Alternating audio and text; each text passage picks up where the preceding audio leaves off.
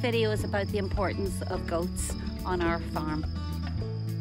We don't own any goats, but we do have goats browse around our land. And we get goat manure. Because at this stage we're completely out of our own compost. You can never have enough compost. We're going to carry on composting.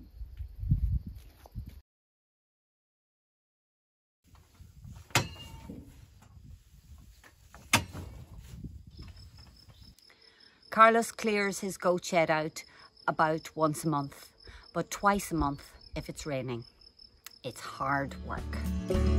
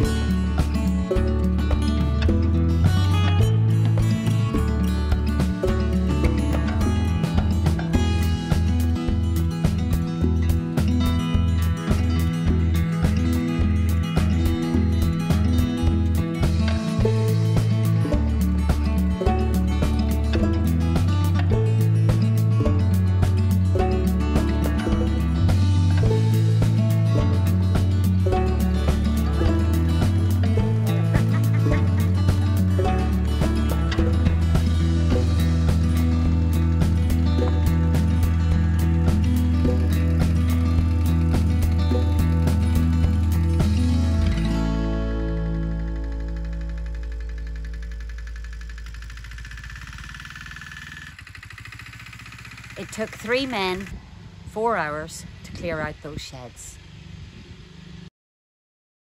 I'm to strim out. I'm out. I'm to strim around these little trees before we add protection from deer and goats.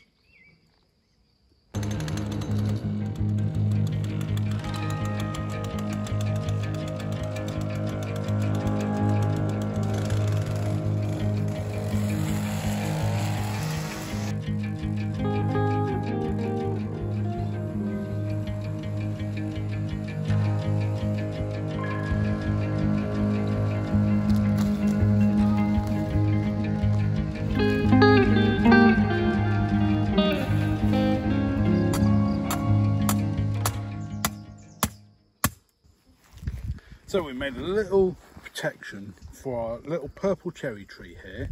We've got a couple of two metre lengths of rebar, about a metre and a half of chicken wire and a bit more than a metre and a half of the heavy wire that we use for the uh, vine trellises. And we've got a little, little bit of fine wire here, just holding the ring of chicken wire onto the rebar, stop it from going anywhere. This should be enough to protect the, the, little tree from the deer and from the goats. So you might have seen we've got plenty of deer roaming around on our land and we'll show you over here what happens when they have a nibble of a tree.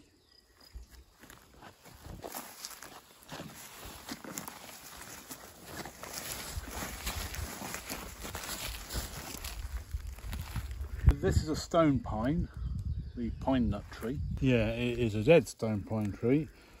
And this is what the deer do. They have a nibble of the bark and they scratch away at the bark. And when that happens, a tree can die, especially if it is ringed all the way round. I mean, it is ringed all the way around just here. And that bit there. And this tree is properly dead. So we're going to protect our little trees. We're going to make a few more cages and protect some of the trees uh, that we want to uh, grow up tall and strong here in our forest forestry uh, section of the land. We've got a hawthorn, a lilac, and there's a little fruit tree, and last of all, there's a cork oak. We'll show you that later. I've got the famous steel cutting scissors.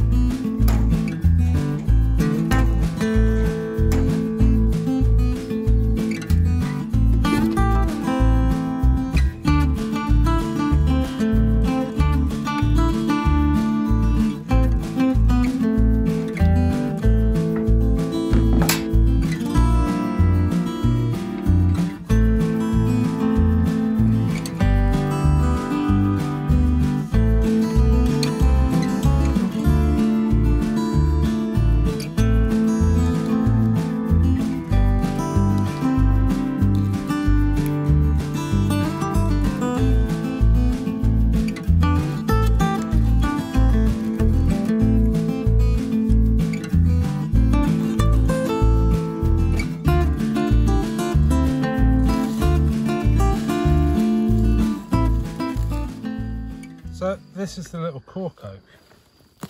And it was this high when we bought the property two years ago. And it's still the same height. Because every week the goats come along and nibble the top, nibble the new growth. So we're going to give it a little bit of protection, not just from the goats, the deer as well. And hopefully this will turn into a full-size cork oak. We may never see the cork from it, but they're beautiful trees. They're native around here.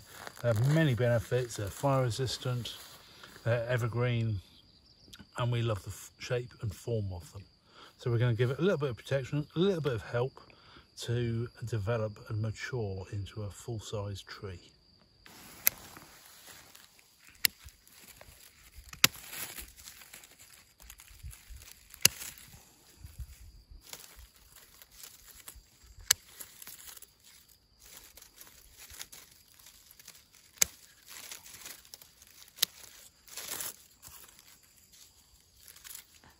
We'll leave two.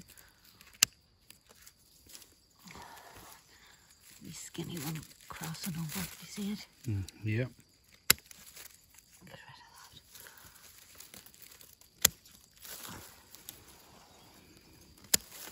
that. Nothing much left now.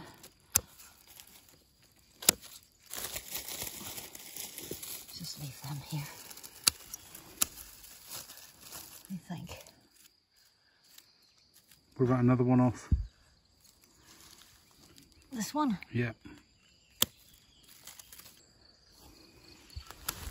Dead. One's across. Take that out.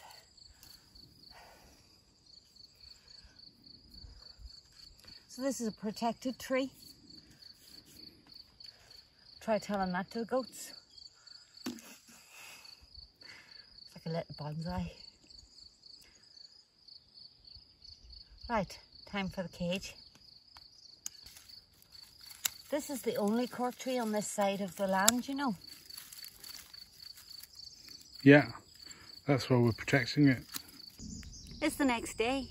It's sunny. Finally got my shorts on. The little cork oak is in its cage. Let me show you the other trees that we've protected and some that we didn't get round to doing because we have a different plan for those. So let's go.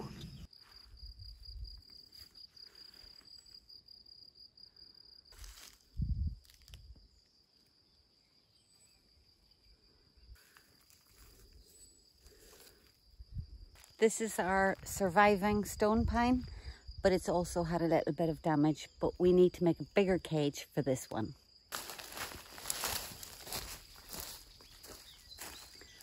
Right down here is the only hawthorn we have on the land. We were going to put a cage around it, but have decided that we're just going to leave it and let it do its thing. It doesn't really matter if it grows into a tree shape or just stays like a bush. Hawthorn is a wonderful plant to have. The blossoms come out very early in the season and the heady, heady fragrance is phenomenal.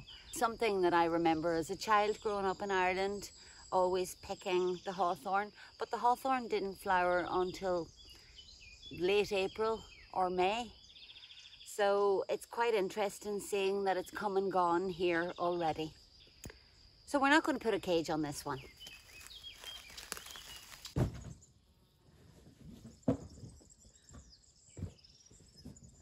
So right now we've got to prepare all this cardboard for another project and you'll see that in a future video. So bye for now. See you next time.